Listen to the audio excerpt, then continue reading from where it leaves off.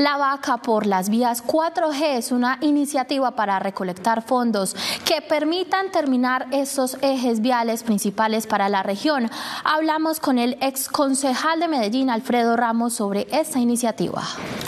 Antioquia cuenta con nueve proyectos de vías 4G, dentro de las cuales algunas ya están en ejecución y pronta finalización. Para terminar los restantes, se tiene previsto realizar diferentes actividades. Colectas públicas, también eventos privados de cenas o subastas, por ejemplo, de empresarios, o temas ya masivos, donde también haya participación de las personas, como con la compra de camisetas, de merchandising que llaman, eh, eventos como carreras atléticas o conciertos. Si el gobierno pone los 650 millones de pesos, lo que se recaude de la vaca se va a destinar a las obras de competitividad de Antioquia, a la conexión del el mundo con Antioquia y con el centro del país. A la fecha se han recolectado más de 5.400 millones de pesos, lo que representa tan solo el 0,7% del billón que se espera recaudar. Han sido más los inconvenientes que fondos los que ha traído esta vaca. El monto de la vaca es difícil de estimar.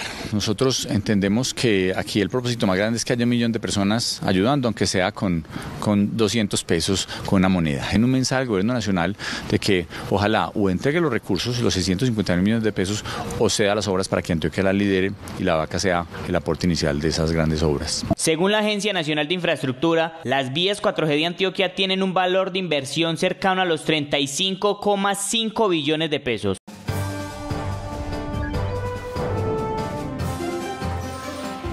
¿Sabías que ya ahora 13 Noticias cuenta con plataformas digitales Escríbenos para que conozcas todas las opciones de pauta que tenemos para que puedas anunciar tu producto o servicio.